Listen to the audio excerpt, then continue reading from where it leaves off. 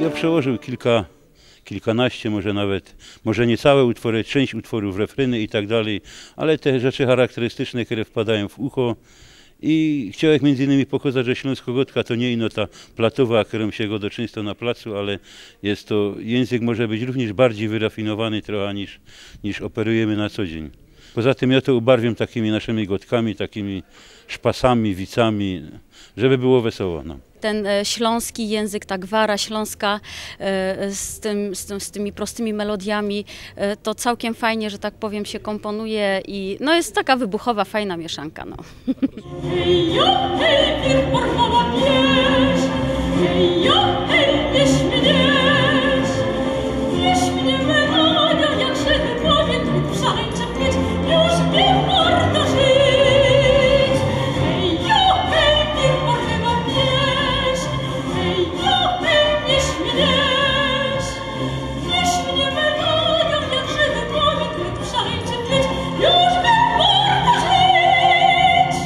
Cała sztuka polega na tym, że język polski, literatura nasza jest bardzo, język polski jest wyrafinowany, a, a nasz język, śląski język jest bardzo prosty przekazie, ale i czytelny, i czytelny jest dokładny, że jak się powie 2 dodać 2 jest 4, to wiadomo, a po polsku to 2 dodać 2 to różnie, może być 4,5, nie?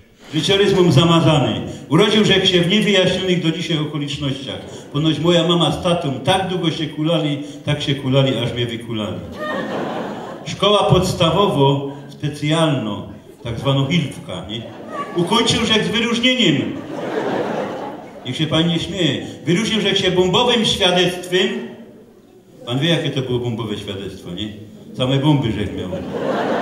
I czerwonymi paskami na mniej szlachetnej części ciała. Każdej dniami ludzie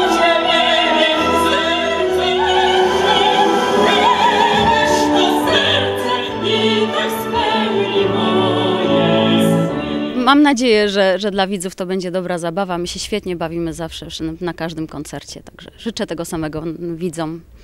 Także wszystkiego dobrego.